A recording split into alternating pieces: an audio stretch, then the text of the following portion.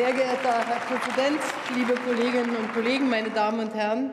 Seit nunmehr zweieinhalb Jahren verhandeln wir intensiv über den Austritt des Vereinigten Königreichs aus der Europäischen Union.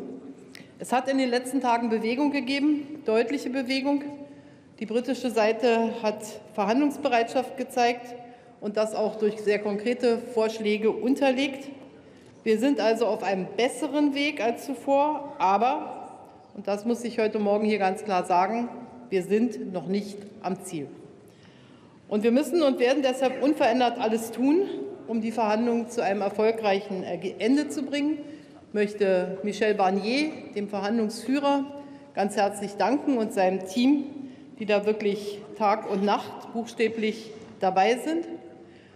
Und es gilt unverändert auch, dass, wenn wir eine gute Lösung finden wollen, das etwa der Quadratur des Kreises gleicht. In den letzten Jahren, Monaten und Wochen dachten wir mehrfach schon, dass wir kurz vor einer Lösung stehen. Dann haben sich die Dinge erneut zerschlagen. Und deshalb kann ich heute hier nicht sagen, wie morgen der Europäische Rat enden wird. Aber ich darf Ihnen sagen, dass es ganz klar bleibt, dass wir nicht zulassen werden, dass auf der irischen Insel durch eine harte Grenze Hass und Gewalt wieder aufflammen können.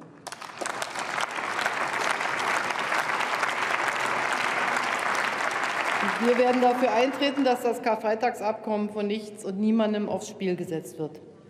Und auch die Prinzipien des Binnenmarktes dürfen nicht in Frage gestellt werden.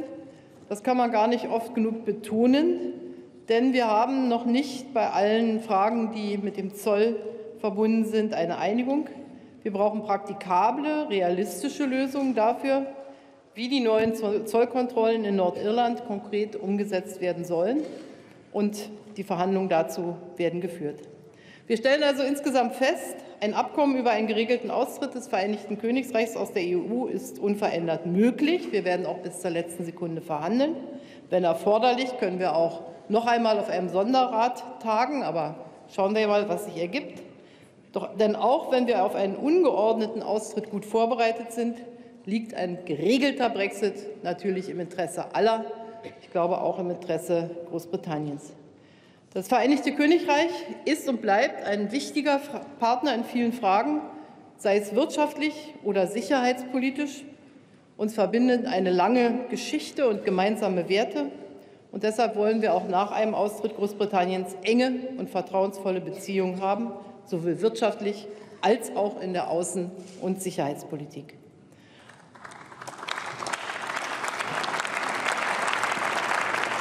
Und deshalb wird sich die Bundesregierung auch weiterhin mit aller Kraft dafür einsetzen, die zukünftigen Beziehungen zwischen dem Vereinigten Königreich und der Europäischen Union wie auch zwischen dem Vereinigten Königreich und Deutschland so zu gestalten, dass wir eine gute gemeinsame Zukunft haben. Meine Damen und Herren, die intensive Auseinandersetzung mit der Frage des Austritts Großbritanniens aus der Europäischen Union in diesen Tagen darf nicht den Blick dafür verstellen, dass in Europa und auf der Welt auch andere drängende Themen zu lösen sind.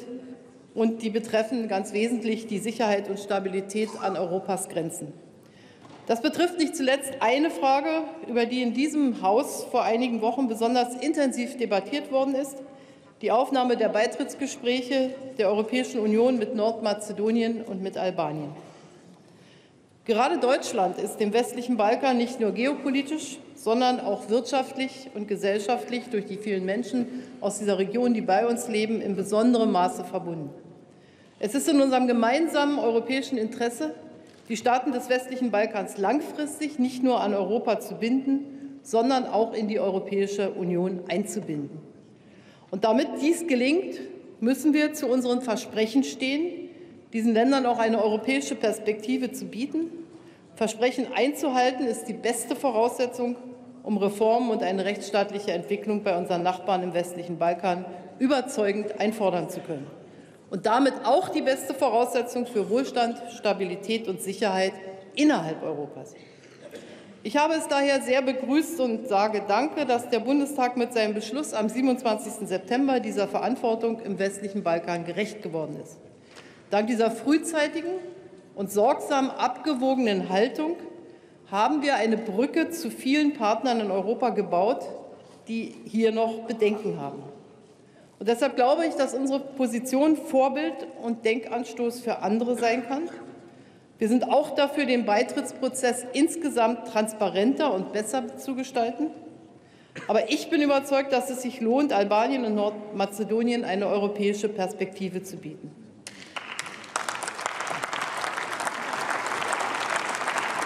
Wir werden nun diese Debatte heute im Europäischen Rat führen, um vielleicht noch diejenigen, die nicht überzeugt sind, zu überzeugen. Ich muss Ihnen aber sagen, die Chancen, dass wir zu einem einvernehmlichen Votum kommen, stehen nicht gut.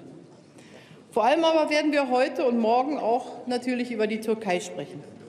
Unsere Beziehungen zur Türkei sind vielschichtig. Sie ist unser europäischer Nachbar und NATO-Partner. Und die Situation dort, direkt an der Grenze Europas, betrifft uns alle unmittelbar. Mehrfach habe ich die Türkei, und das auch im persönlichen Gespräch mit dem türkischen Staatspräsidenten, in den letzten Tagen eindringlich dazu aufgerufen, ihre Militäroffensive in Nordsyrien gegen die kurdische YPG-Miliz umgehend zu beenden. Und das wiederhole ich hier an dieser Stelle.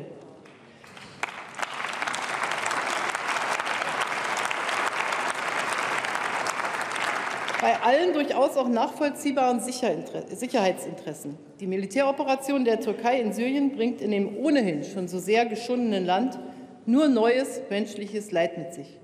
Sie fordert viele Opfer und treibt zigtausend Menschen, darunter tausende Kinder, in die Flucht. Das ist ein humanitäres Drama mit großen geopolitischen Folgen. Und deshalb wird die Bundesregierung unter den jetzigen Bedingungen auch keine Waffen an die Türkei liefern ich freue mich, dass das auch die Haltung der europäischen Partner ist.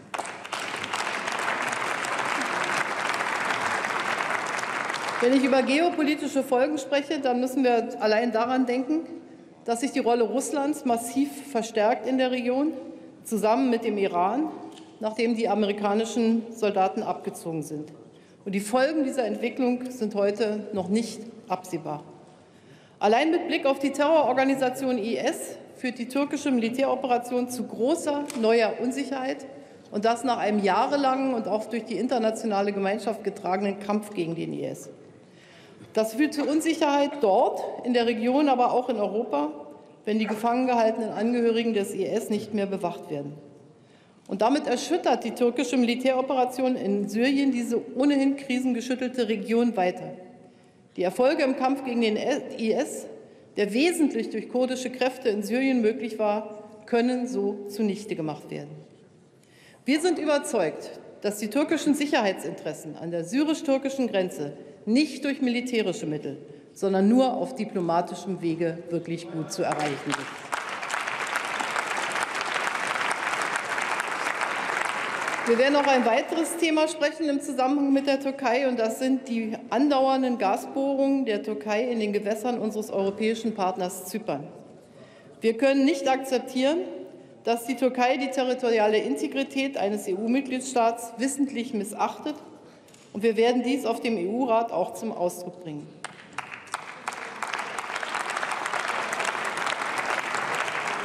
Unbeschadet der neuen Entwicklungen müssen wir zugleich sehen, dass 3,6 Millionen Syrer in der Türkei Zuflucht gefunden haben.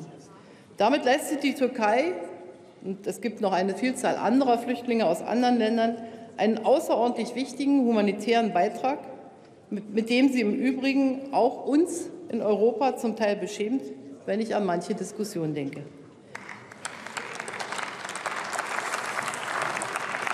Ich kenne alle Kritik, die seit 2015 und besonders seit dem Frühjahr 2016 am EU-Türkei-Abkommen geübt wird. Ich werde mich jedoch weiter dafür einsetzen, dass dieses Abkommen bestehen bleibt. Es rettet Leben, und zwar sehr konkret in der Ägäis, und es verhindert, dass Schlepper und Schleuser wieder die Oberhand bekommen und Geld von Menschen nehmen, die eigentlich keins haben. Ich werde mich Ich werde mich deshalb weiter für dieses Abkommen einsetzen, damit die Menschen, die in der Türkei Zuflucht gefunden haben, ein würdiges Leben führen können, nahe ihrer Heimat, dank der dazu bereitgestellten finanziellen Mittel durch die Europäische Union und auch durch Deutschland noch zusätzlich. Das hat zum Beispiel dazu beigetragen, dass fast alle syrischen Kinder in der Türkei in die Schule gehen können.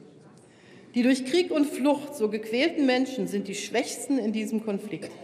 Wir dürfen uns deshalb auch jetzt unter dem Eindruck des türkischen Vorstoßes in Syrien unserer Verantwortung nicht entziehen, sondern müssen ihr weiter gerecht werden.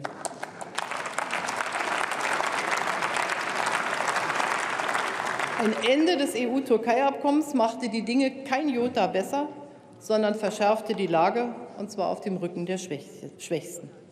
Diese Haltung haben Bundesinnenminister Horst Seehofer und der europäische Innenkommissar Dimitris Avramopoulos mit ihrem gemeinsamen Besuch in Griechenland und der Türkei auch noch einmal unterstrichen. Meine Damen und Herren, gerade die Lage an Europas Außengrenzen zeigt, dass sich Europas Rolle in der Welt zunehmend verändern muss. Es kommen immer mehr Aufgaben auf uns zu. Und dazu braucht Europa einen modernisierten und auf diese Bedürfnisse angepassten mehrjährigen Finanzrahmen. Und deshalb ist es gut, dass die amtierende finnische Ratspräsidentschaft die Debatte nach vorne bringt und dem Europäischen Rat eine Beratungsgrundlage hierzu vorlegt. Es wird auf diesem Europäischen Rat, ich sage leider dazu, noch keine Einigung geben, aber es wird Gespräche geben, in denen ich mich für einen zukunftsorientierten Haushalt einsetzen werde, der Europas Handlungsfähigkeit in dreierlei Hinsicht sichert. Erstens, für uns ist eine Modernisierung des mehrjährigen Finanzrahmens entscheidend. Unsere Ziele müssen durch entsprechende Festschreibungen im Haushalt unterstützt werden. Dies gilt für den Klimaschutz, die Migration und ein forschungsstarkes und innovatives Europa sowie eine stärkere Zusammenarbeit in der Außen- und Sicherheitspolitik. Die Verlässlichkeit etablierter Politikbereiche wird dabei natürlich nicht in Frage gestellt. So muss zum Beispiel berücksichtigt werden, dass viele Regionen in den neuen Bundesländern weiterhin strukturelle Nachteile haben. Aber insgesamt geht es darum, das richtige Gleichgewicht für einen Haushalt zu finden, der gerade auch Europas neuen Herausforderungen gerecht werden kann.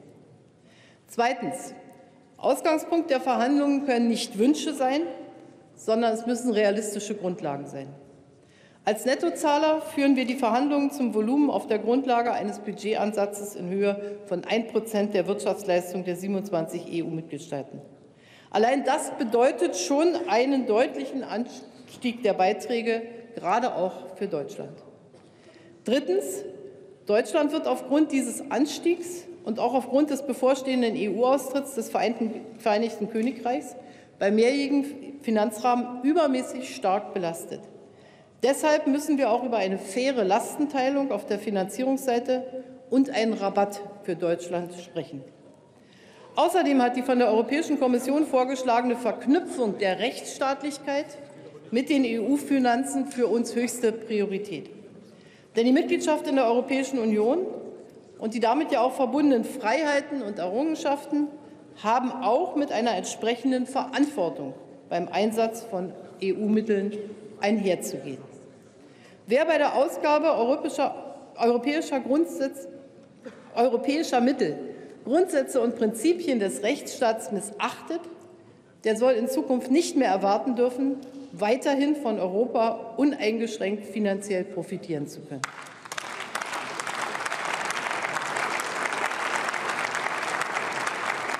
Damit stärken wir die gute Regierungsführung in ganz Europa und schützen die Interessen von Millionen von Steuerzahlern. Eine zügige Verabschiedung des mehrjährigen Finanzrahmens ist Voraussetzung für die Handlungsfähigkeit der Europäischen Union, und sie ist damit auch Voraussetzung dafür, dass die neue Kommission der Europäischen Union, die bald ihre Arbeit aufnehmen wird, leider etwas verspätet, auch wirklich ihre Prioritäten umsetzen kann. Wir stehen ja derzeit zwischen dem Ausscheiden der alten Kommission und dem Antritt der neuen Kommission. Ich möchte dem scheidenden Kommissionspräsidenten Jean-Claude Juncker sowie dem noch amtierenden Präsidenten der Europäischen Union, Donald Tusk, für ihren unermüdlichen und leidenschaftlichen Einsatz für Europa danken.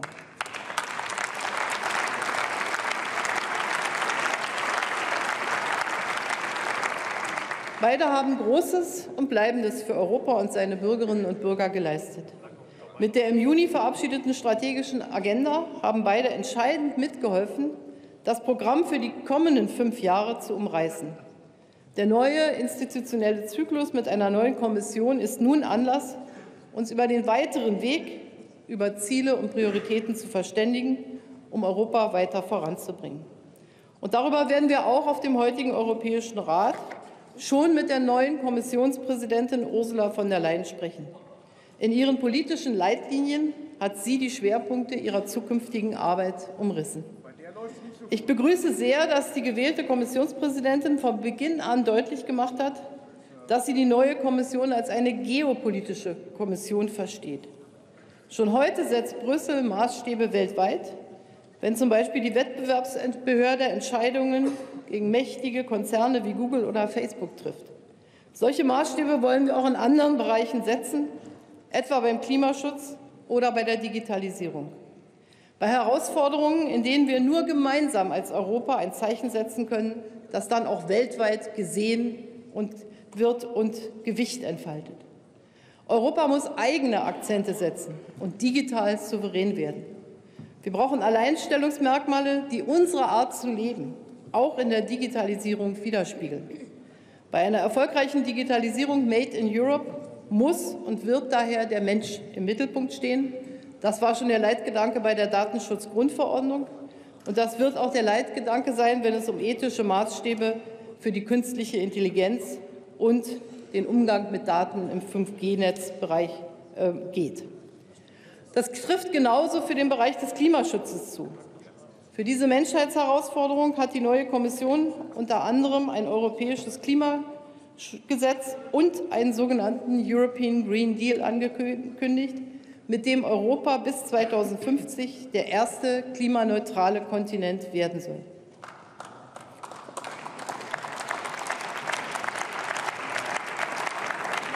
Europa zeigt damit, dass es sich zum Pariser Klimaabkommen und dem dort vereinbarten 1,5 Grad Ziel sowie zur Klimaneutralität bekennt. Bei der Umsetzung dieser Ziele sind wir uns in Europa jedoch noch nicht bei allen Mitgliedstaaten einig. Wir haben natürlich die Besonderheiten jedes einzelnen Mitgliedstaates zu bedenken.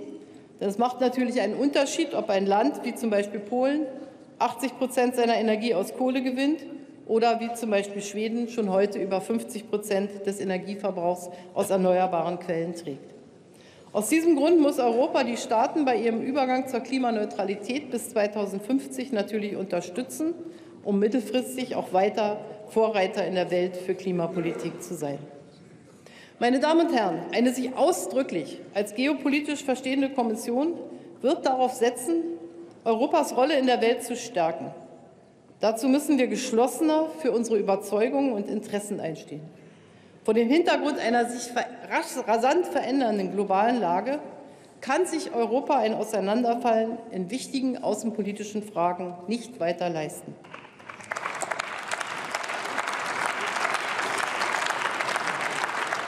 Deutschland tritt seit jeher für genau dieses nach außen starke Europa ein.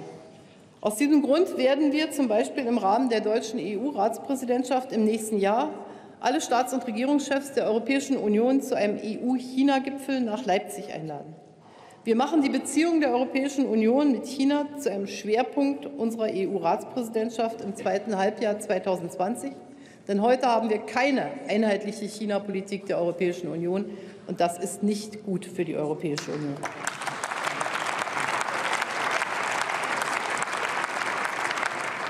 Es ist nämlich entscheidend, dass Europa mit einer Stimme spricht und sonst können wir auch keine konkreten Ergebnisse für unsere zukünftige Zusammenarbeit erzielen, etwa wenn es um den Klimaschutz oder um Investitionen geht. Und dazu will Deutschland in seiner Ratspräsidentschaft im zweiten Halbjahr 2020 einen Beitrag leisten. Die Zeiten sind unruhig und die Erwartungen an Deutschland hoch.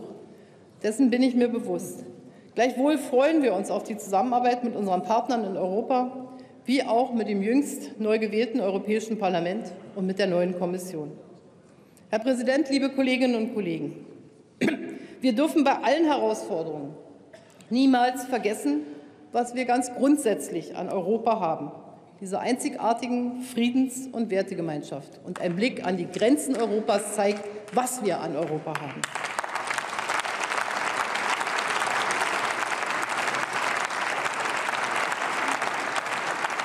Dieser Tage erinnern wir hier bei uns an den Fall der Berliner Mauer vor 30 Jahren.